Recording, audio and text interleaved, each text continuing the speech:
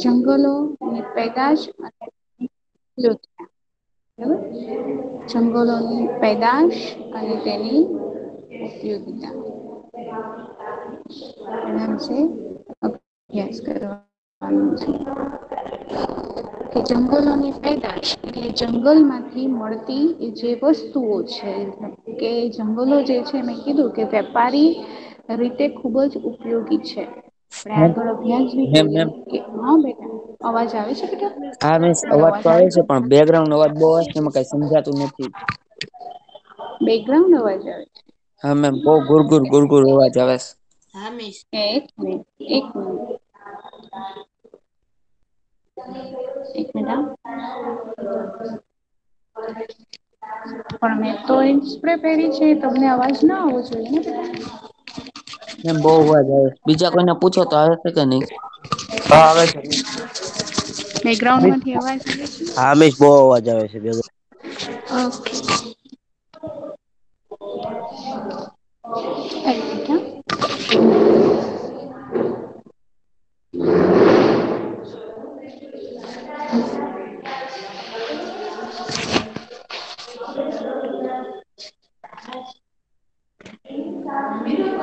હજી આવે છે બેટા?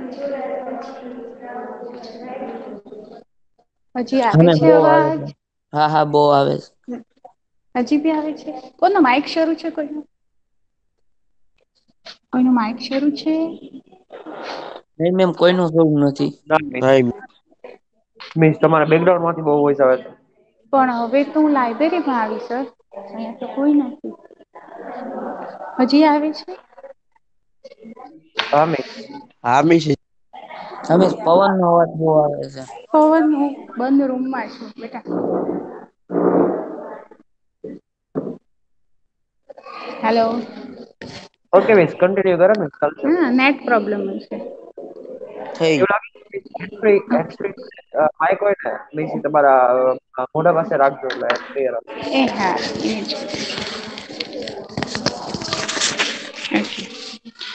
જંગલોની પેદાશો અને તેની ઉપયોગિતા.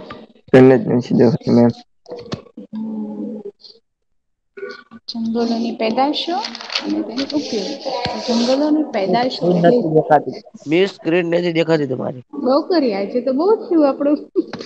એક મિનિટ.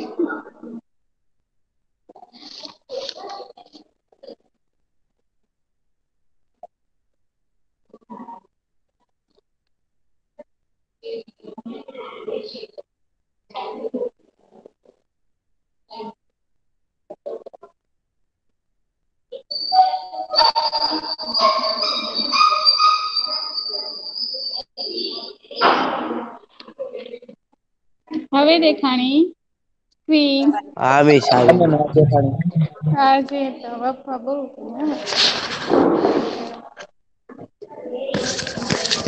હવે અવાજ આવે છે મારો ક્લિયર મિસ ઓકે હવે આવો જ જોઈએ હો. હવે કઈ પ્રોબ્લેમ ન થવો જોઈએ. આપડે વાત પૂરો કરવાનો છે જલ્દી જો જંગલોની પેદાશો. જંગલોની પેદાશો એટલે શું? તો ભાઈ જંગલમાંથી મળતી જે છે રો મટીરિયલ મતલબ કે રબર માટેનો રસ છે. બરાબર? ફર્નિચર બનાવવા માટે જે છે, લાકડું છે. બરાબર? ગુંદર છે. બરાબર? એ બધી વસ્તુઓ જે છે, આપણે આગળ ભણ્યા કે જંગલો જે છે, વેપારી દ્રષ્ટિએ પણ ખૂબ ઉપયોગી છે.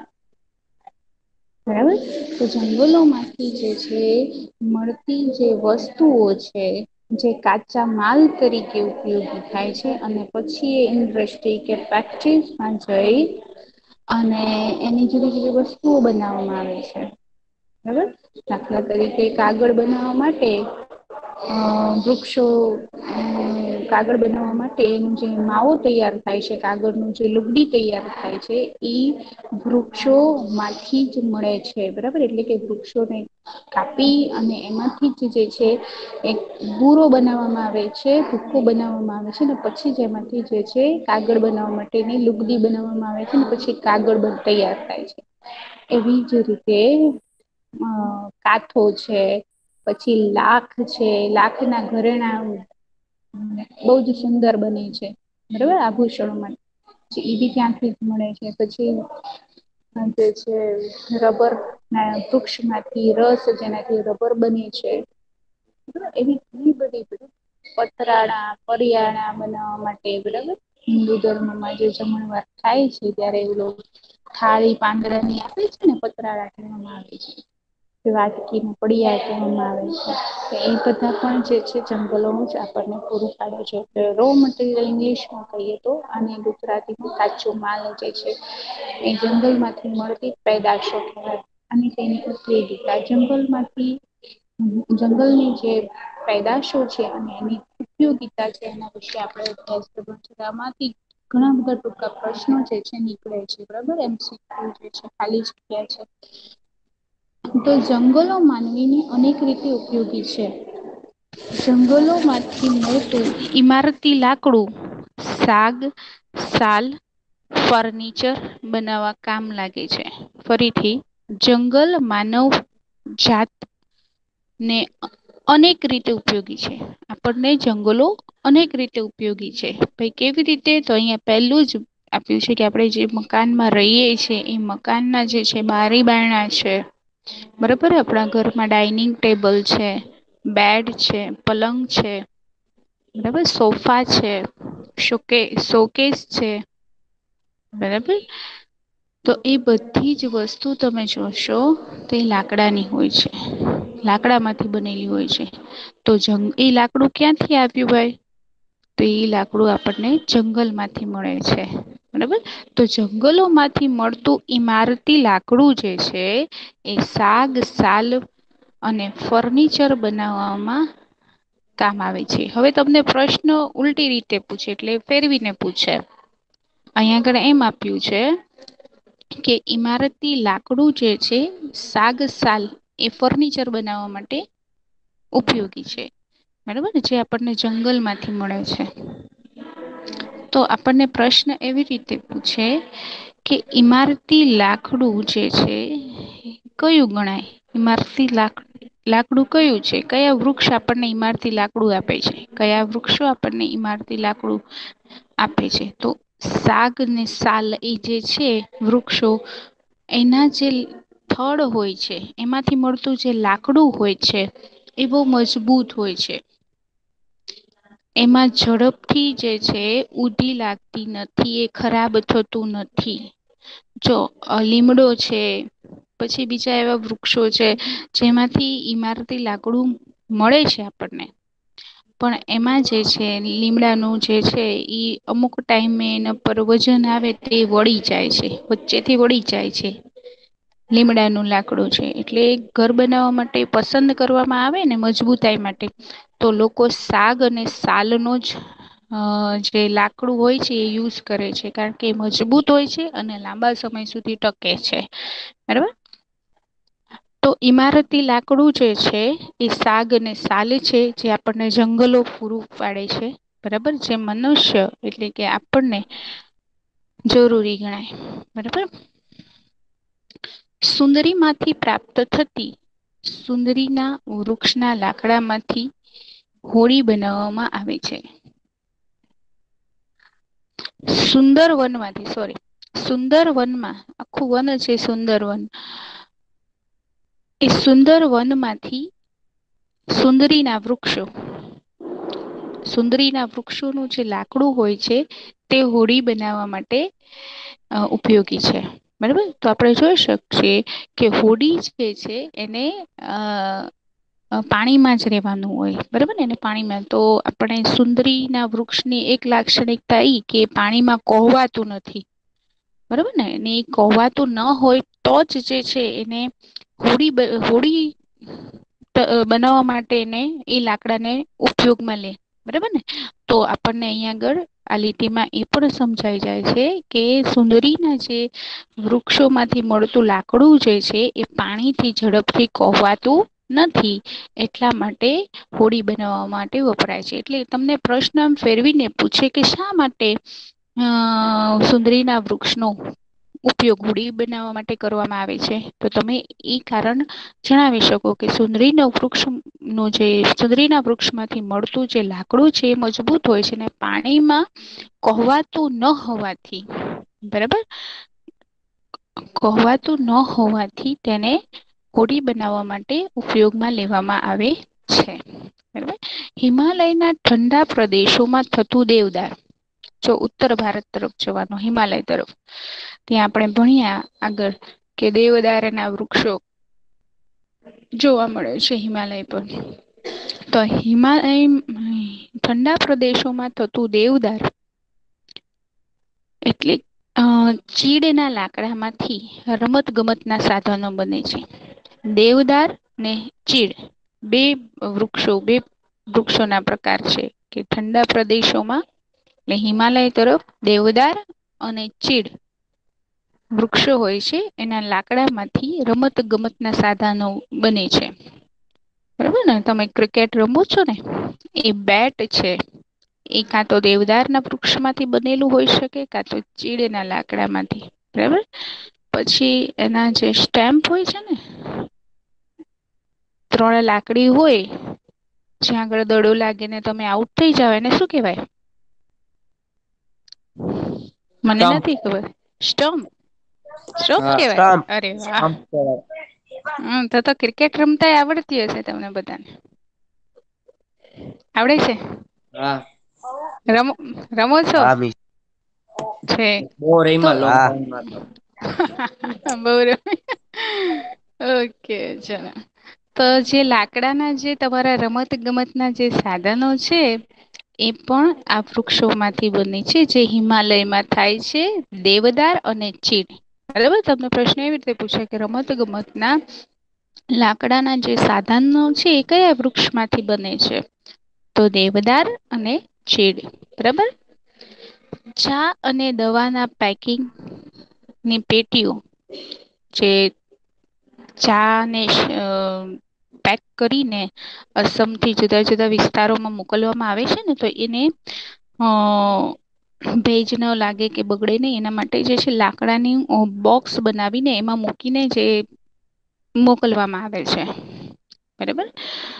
તો એ બોક્સ જે છે અને દવાની જે દવાનું જે પાર્સલ આવે ને, એ દવાની, એ પણ લાકડાની પેટીઓમાં મૂકીને આવે. ઘણી જગ્યાએ તમે ફ્રૂટની દુકાને જાઓ ને તો ત્યાં આગળ ફ્રૂટ પણ અમુક લાકડાની પેટીઓમાં મૂકેલા હોય છે. બરાબર? તો એ પણ દેવદાર અને ચીડના લાકડામાંથી જ બની હોય છે. દેવદાર અને ચીડના લાકડામાંથી રમતગમતના સાધનો, ચા અને દવાના પેકિંગોની પેટીઓ એટલે કે ખોખા બનાવવામાં આવે છે. એનું લાકડું કેવું હોય છે દેવદાર અને ચીડનું? ઓછું હોય છે થોડું. બરાબર? ચીડના ચીડના રસમાંથી યાદ રાખજો, આ વારંવાર પ્રશ્ન પૂછાય છે કે ચીડના રસમાંથી ખાલી જગ્યા બની છે. તો ચીડના રસમાંથી ટર્પેન્ટાઇન બને છે. બરાબર? ટર્પેન્ટાઇન ક્યાં યુઝ થાય છે મને નથી. ધ્યાન પણ તમે સર્ચ કરજો કે ટર્પેન્ટાઇન શું છે. આજે હું તમને આ હોમવર્કમાં આપું છું બેટા. તમે સર્ચ કરજો. કે ટર્પેન્ટાઇન શું છે અને એ કઈ જગ્યાએ ઉપયોગ થાય છે? આપણે એ તો શીખ્યા કે ટર્પેન્ટાઇન છે એ ચીડના રસમાંથી આપણને મળે છે. હવે ટર્પેન્ટાઇન હા એ શું છે? હા. પણ લગાડવામાં? તમે સર્ચ કરશો કલર લગાડવામાં એ કલર જ છે કે કલરમાં એડ થતું કોઈ કેમિકલ્સ છે કલરને પતલું કરવા માટે? શું છે? એ તમારે વ્યવસ્થિત સર્ચ કરવાનું છે બરાબર? કે પછી ઓલા લાકડા પર સનમાઈ ઓલું લાકડા પર ઓલું કરવામાં આવે છે ને શું કહેવાય? વાર્નિશ વાર્નિશ કરવામાં આવે ને? એ કેમિકલ્સ છે. એ તમે સર્ચ કરજો બરાબર. શું છે? ટર્પેન્ટાઇન રિયલમાં છે શું? બરાબર? ચીડના રસમાંથી નીકળે છે બરાબર? લાકડા જે હોય ને લાકડાની વસ્તુ હોય ને પલંગ હોય ફર્નિચર હોય શોકેસ હોય તો એનું જે લાકડું જે છે ને અમુક ટાઈમે જૂના જેવું થઈ જાય છે. તો એને ફરીથી ચમકાવવા માટે જે છે વાર્નિશ નામનું એક કલર જેવું જ એક લિક્વિડ આવે છે. બરાબર? શું એમાં ટર્પેન્ટાઇન હોય છે કે એ જ ટર્પેન્ટાઇન છે? એ તમારે સર્ચ કરવાનું છે. બરાબર? એ તમારું હોમવર્ક છે. બરાબર? મને ખ્યાલ હોય મને આવડતું હોય તો બી તમારે કરવાનું છે. બરાબર ને? હું તમને પૂછીશ. તો ચંદનમાંથી સુગંધી તેલ. હવે જંગલોમાં ચંદનના વૃક્ષો પણ હોય છે. તો ચંદનમાંથી સુગંધિત તેલ સૌંદર્ય વર્ધક બનાવટો. બરાબર? સૌંદર્ય વર્ધક બનાવટો એટલે કે સાબુ છે ચંદન ના સાબુ આવે છે. એડવર્ટાઈઝ તમે ટીવી પર જોતા હશો ન્યૂઝપેપરમાં જોતા હશો કે સેન્ડલના શોપ એટલે ચંદનના સાબુ. બરાબર? પછી સ્પ્રે છે, પછી ક્રીમ છે. બરાબર? એવા જે સૌંદર્યવર્ધક જે સુંદરતામાં વધારો કરે. એ સૌંદર્યવર્ધક બનાવટો, બરોબર? સૌંદર્યવર્ધક બનાવટો એટલે કે સાબુ છે, ક્રીમ છે, એ યાદ રાખવાનું, બરોબર? સુગંધી તેલ માથામાં નાખવા માટે, બરાબર? તો ચંદનના વૃક્ષો છે, એ ચંદનના વૃક્ષોમાંથી શું બને છે? તો સુગંધી તેલ અને સૌંદર્ય વર્ધક બનાવટો બનાવવામાં આવે છે. હવે વાંસ. વાંસમાંથી ટોપલી, ટોપલા, રમકડા, ગૃહ સુશોભનની ચીજ વસ્તુઓ બનાવવામાં આવે છે. તમે ગામડામાં જાઓ તો ગામડામાં જે છે, તમને આવી વાંસથી બનેલી જે છે, ઘણી બધી વસ્તુઓ મળશે. બરાબર? એને એ લોકોએ વાંસના આખા ટોપલા બનાવ્યા હોય, એ લોકોએ નાના બચ્ચાને સુડાવવા માટેના હિંચકા બનાવ્યા હોય, ગુથીને. બરાબર? વાંસની પતલી પતલી છાલ જે છે એની સ્લાઇડ ચીરી કરી અને એમાંથી એ લોકો ગૂંથે કળા છે એ હા? ને વાંસની ટોપલી તમે જે ફૂલ ખરીદ્યો, ખરીદો કે અમુક તમે જો, જુઓ ને વાંસના ટોપલા જે પતલી પતલી સળીઓથી ગૂંથેલા હોય છે. બરાબર? એ ટોપલા જે છે એ વાંસમાંથી બનેલા હોય છે. પહેલાના સમયમાં જે છે બાળકો જે છે ને વાંસ માંથી બનેલા રમકડાઓથી રમતા હતા. ઘૂઘરા છે, પછી ગાડી છે, એવી રીતે બાળકો, નાના બાળકો જે હતા, આટલા બધા ચાઈના ના રમકડા જે છે, આવતા જ નહોતા આપણે ત્યાં ભારતમાં. તો માટીના હોય, લાકડામાંથી બનેલા હોય, જેમ સંગળિયા બજારમાં જે મળે છે ને, લાકડાના રમકડા, એવી રીતે માટીના બનાવીને વેચે, એના પર કલર કરીને, અથવા તો આવી રીતે વાંસમાંથી જુદા જુદા રમકડા બનાવીને એ લોકો વેચતા હતા. અને ઘરની સુશોભનની વસ્તુઓ જે છે, તોરણ છે, બરાબર?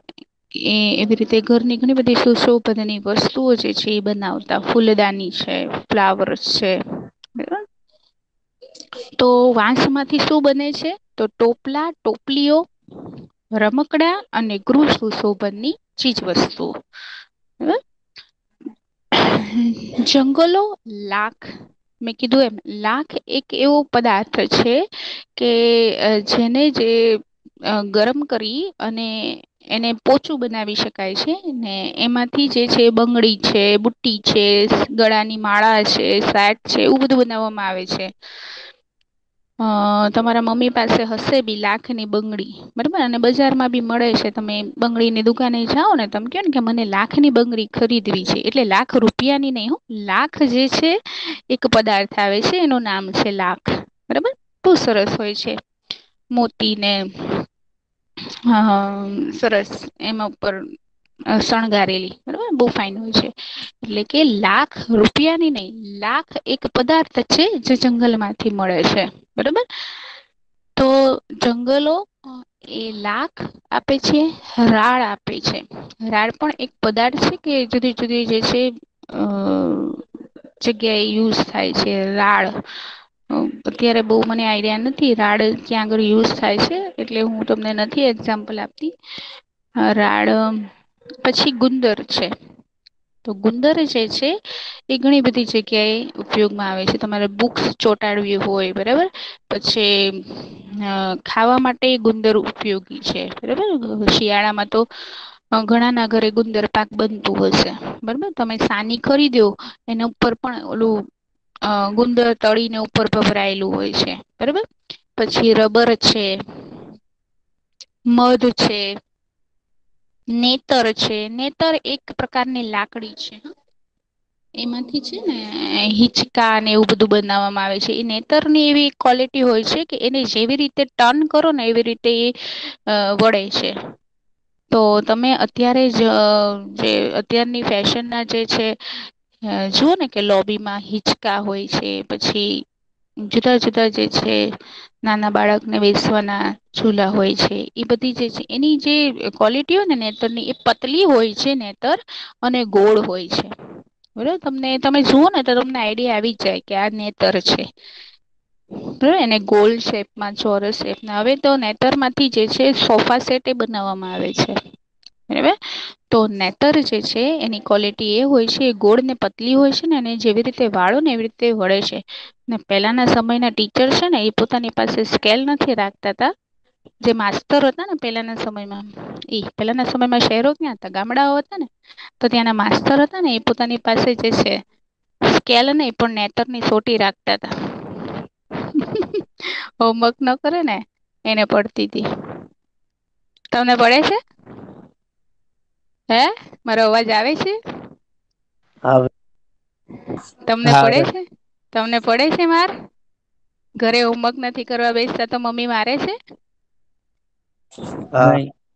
નહીં મોટા થઈ ગયા એટલે. હેને કે આટલા મોટા ને શું મારવું? જવા દેને એવું ને? તો હા તો નેતર જે છે. એ એક પ્રકારની લાકડી છે. પતલી હોય છે અને એમાંથી હિચકા છે, સોફા છે. એવી બધી વસ્તુ બનાવવામાં આવે છે બરાબર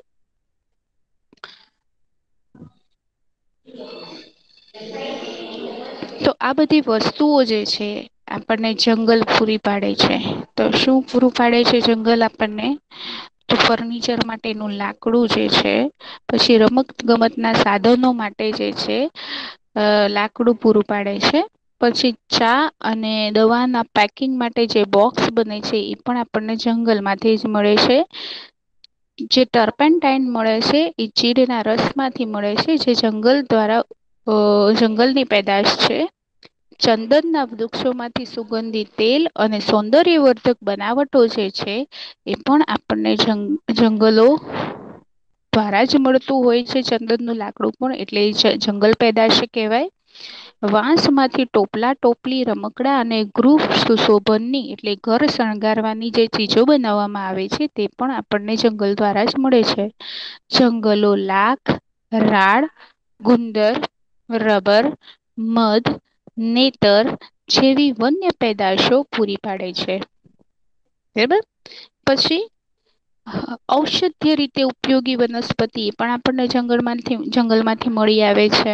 ને અત્યારે તો એની ખેતી બી થાય છે, બરાબર ને જેમ જેમ ઉપયોગી ઉપયોગીતા વધી, તો એમ એનું, એની ખેતી પણ થવા લાગી છે દાખલા તરીકે આમળા છે.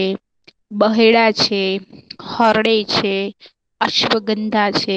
વગેરે વનસ્પતિઓ જે છે ને ઔષધીય વનસ્પતિ ધરાવે છે, જે આપણને જંગલો પૂરી પાડે છે બરાબર ઔષધીય વનસ્પતિ કઈ છે તો આમળા, બહેડા, હરડે, અશ્વગંધા વગેરે વનસ્પતિ ઔષધીય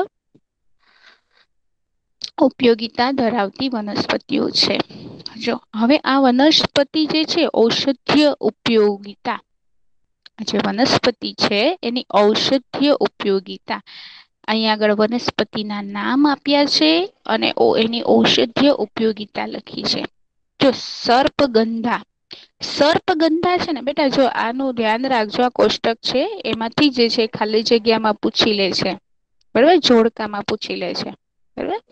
તો સર્પગંધા છે, એ શા માટે, કઈ બીમારી માટે? એ ઔષધીય દવા છે. સર્પગંધા છે, એક દવા છે, ઔષધીય વનસ્પતિ છે. પણ એ ઔષધીય વનસ્પતિ જે છે, કયા કયા રોગમાં ઉપયોગી છે? બરોબર? શું થાય તો આપણે સર્પગંધાનો યુઝ કરીએ, ઉપયોગ કરીએ? તો સર્પગંધા છે એ લોહીના ઊંચા દબાણના રોગની સારવારમાં વપરાય છે.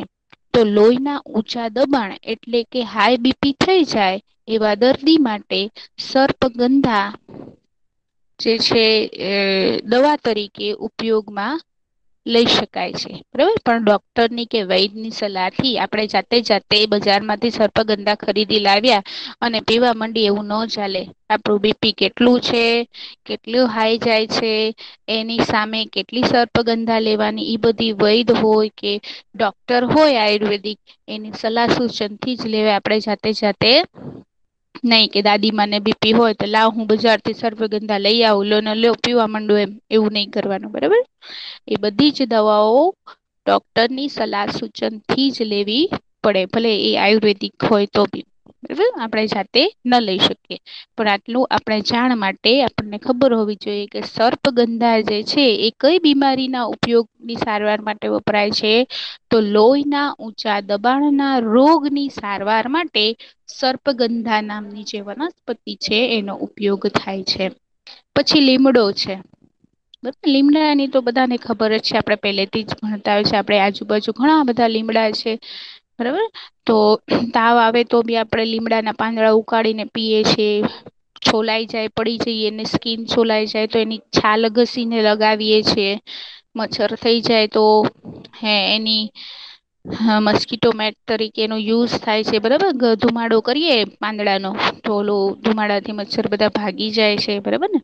તો લીમડો જે છે, એ જીવાણુ પ્રતિરોધક છે, એટલે કે જીવાણુઓને ઉત્પન્ન થવા દેતું નથી, જીવાણુઓનો નાશ કરે છે. કારણ કે લીમડાની જે લાક્ષણિકતા શું છે, તો એ કડવો છે.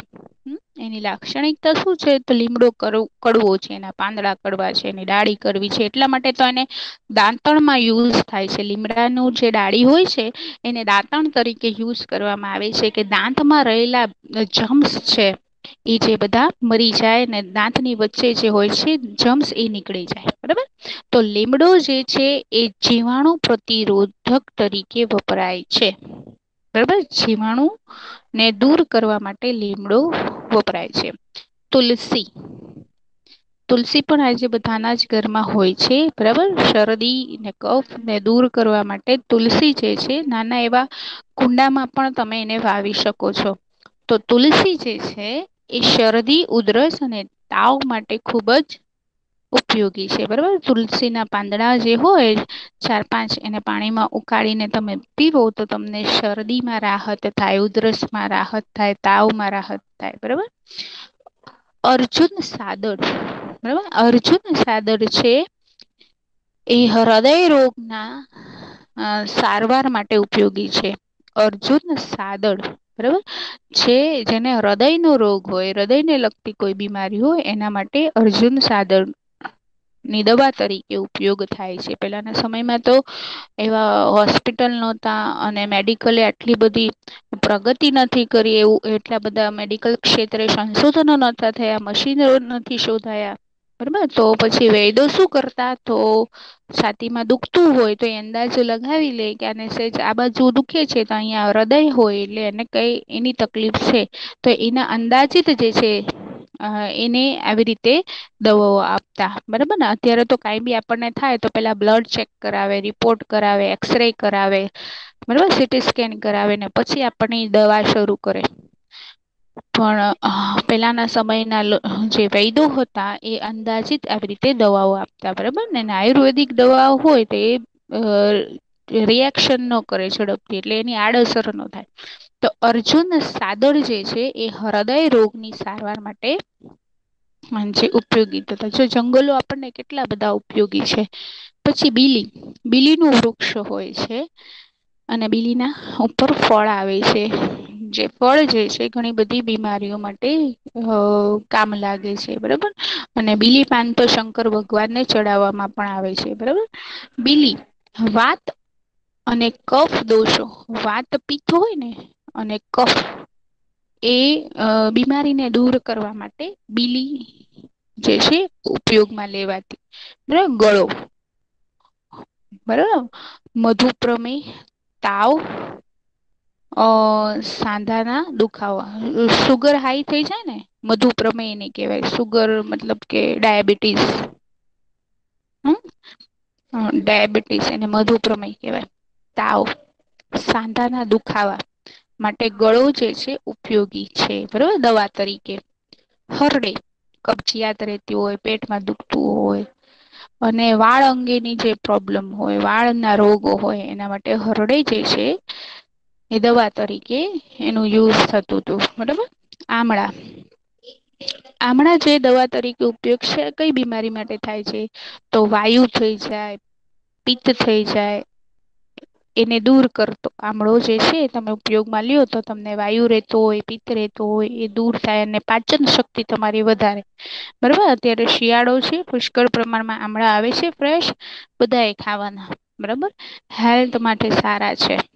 બરાબર? પાચન શક્તિ વધારે છે, ભૂખ વધારે લાગે છે. બરાબર? પછી કરંજ છે. કરંજ નામની જે છે, આયુર્વેદિક વનસ્પતિ છે. તો એ શા માટે છે? તો કરંજ જે છે એ ચામડીના અને દાંત અને પેડાના રોગમાં ઉપયોગી છે. બરોબર? કરંજના જે છે ડાળી ની દાંતળ બનાવીને એને દાંત પર ઘસવામાં આવે છે. બરાબર?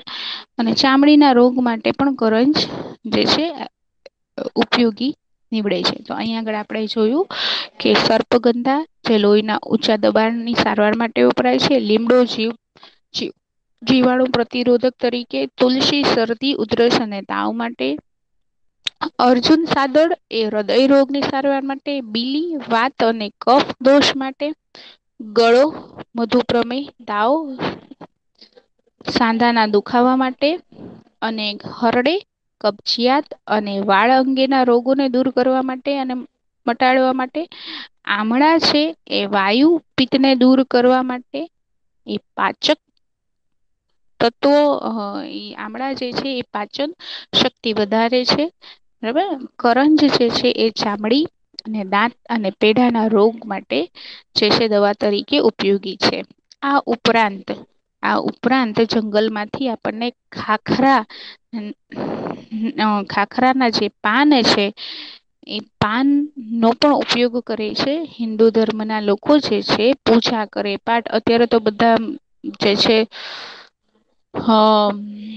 બુફે ડિનર કે પછી યુઝ એન્ડ થ્રોની ડીશ ને બાઉલ જે આવે છે એ યુઝ કરે છે કે જમી લીધું તો પછી ફેંકી દો બરાબર? પરંતુ પેલાના સમયમાં જે છે લોકો જે છે પતરાળા એટલે પાંદડાની થાળી અને પાંદડાની વાટકી, બરાબર? થાળીને પતરાળા કહેવાય ને વાટકીને પડિયા કહેવાય. ને આજે પણ એ લોકોના ધર્મમાં પૂજા થાય છે કે કંઈ વિધિ થાય છે તો એ પુરાની પદ્ધતિથી જ, જૂની પદ્ધતિથી જ એ લોકો એ પતરાડા ને પડિયામાં જે છે ખાવાનું પીરસે છે બ્રાહ્મણોને જમાડે છે. તો ઉપરાંત ખાખરાના પાનમાંથી પતરાળા પડિયા. તમે બધા એ પતરાળાને પડિયા જોયા જ હશે. બરાબર? તમે ડીશ યુઝ એન્ડ થ્રોની ડીશ લેવા જાઓ તો તે દુકાનમાં પણ એ પતરાળાને પડ્યા હોય છે. જેને કહેવાનું કે, ભાઈ, મારે જોવા છે, બતાવો ને. એ કેવા હોય છે? તો તમને બતાવશે. લેવા નથી, મારે જોવા છે. તમે જોઈ લેજો. તો એ જે પાનમાંથી બને છે, એ પાન ખાખરાના હોય છે. બરાબર? તો ખાખરાના પાનમાંથી શું બને છે? તો ખાખરાના પાનમાંથી પતરાળા અને પડિયા બને છે. ખેરના લાકડામાંથી કાથો બને છે. જો ગયા વખતે આ પ્રશ્ન પૂછાયો હતો કે ખેરના લાકડામાંથી શું બને છે? કાથો એમ ફેરવીને પણ પૂછે કે કાથો કયા વૃક્ષમાં, વૃક્ષમાંથી મળે છે? તો ખેરના લાકડામાંથી જે છે, કાથો મળે છે.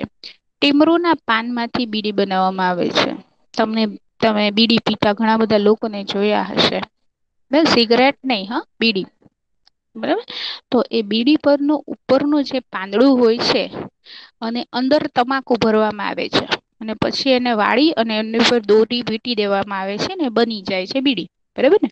તો એ જે પાનમાં જે તમાકુ વીટવામાં આવે છે એ પાન જે હોય છે, એ ટીમરુનું પાન હોય છે.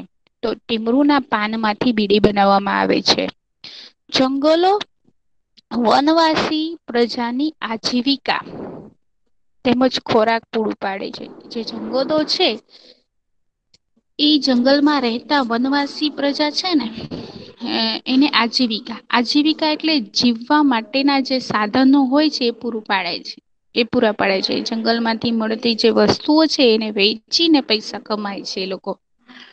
બરાબર? એને આજીવિકા જીવન જીવવાના સાધનો. બરાબર? એ તો પૈસા જ હોય ને. બરાબર? કે જેનાથી આપણે બધી જ આજના સમયમાં પૈસા હોય તો આપણે જીવન, આપણી જરૂરિયાતની બધી વસ્તુઓ લઈ શકીએ. બરાબર ને? એટલે કે વનવાસી પ્રજાને આજીવિકા તેમજ ખોરાક પૂરો પાડે છે. કોણ? તો જંગલો.